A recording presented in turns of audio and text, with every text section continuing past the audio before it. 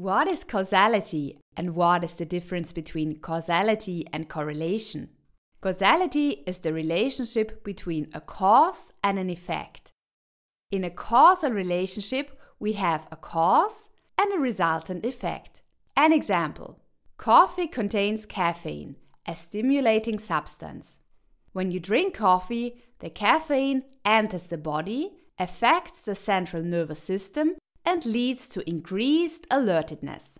Drinking coffee is the cause of the feeling of alertedness that comes afterwards. Without drinking coffee, the effect, i.e., the feeling of alertedness, would not occur. But causality is not always so easy to determine. Clear requirements must be met in order to speak of a causal relationship.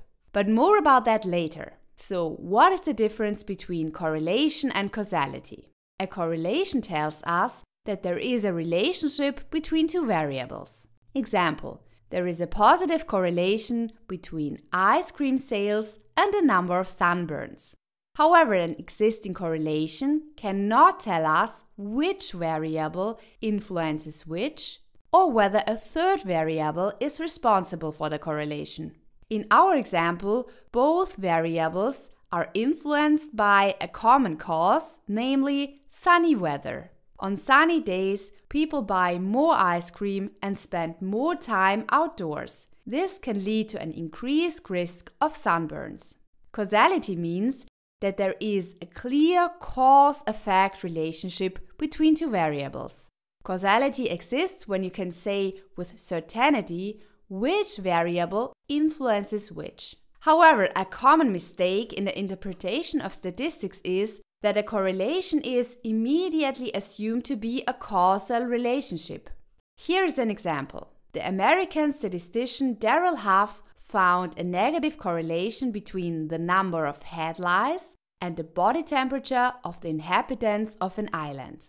A negative correlation means that people with many head lice generally have a lower body temperature and people with few head lice generally have a higher body temperature. The islanders concluded that head lice were good for health because they reduced fever.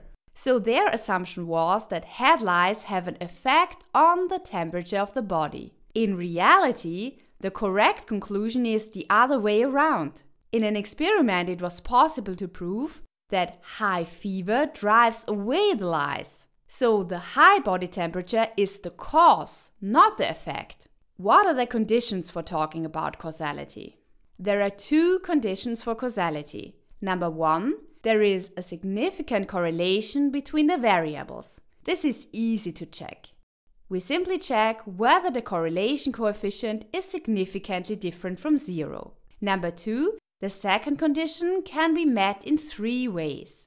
First, chronological sequence there is a chronological sequence and the results of one variable occurred before the results of the other variable. Second, experiment. A controlled experiment was conducted in which the two variables can be specifically influenced. And number three, theory. There is a well founded and plausible theory in which direction the causal relationship goes.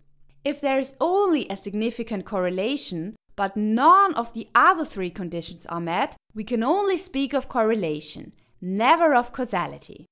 Thanks for watching and I hope you enjoyed the video.